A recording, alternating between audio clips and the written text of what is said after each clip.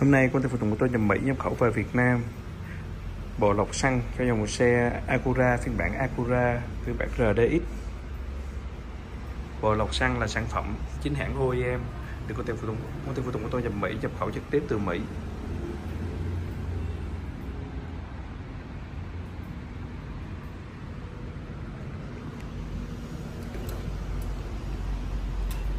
Bộ lọc xăng được sản xuất theo tiêu chuẩn của chính hãng.